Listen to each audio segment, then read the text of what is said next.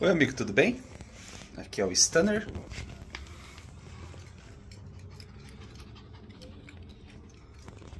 Ele é bem bonito, ó. Aqui o painel ele tem algumas marquinhas das ferragens deles aqui, ó. Ela tem algumas quebradas aqui do lado, isso daqui pode trocar no futuro, mas é feito para exatamente ela é bem alta para ter resistência para quando você levar para tocar. É um verdadeiro ampli de batalha, muito alto, muito potente. São 90 watts, totalmente valvulado. Deixa eu te mostrar o lado de trás agora. Só um minutinho.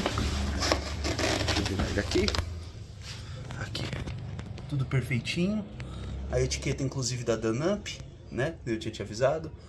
Aqui tem os controles, tem loop de efeitos, eu não lembro se eu tinha te falado ou não, mas tem loop, a chave, é, controle de impedância, seja para 8 ou 4 ohms, os loudspeakers, né? Esse daqui é o, é o, o conector do alto-falante aqui ligado. É muito legal, eu sei que você falou que você quer trocar esse alto-falante, mas experimenta ele, ele é muito bom mesmo, tá? Bem forte.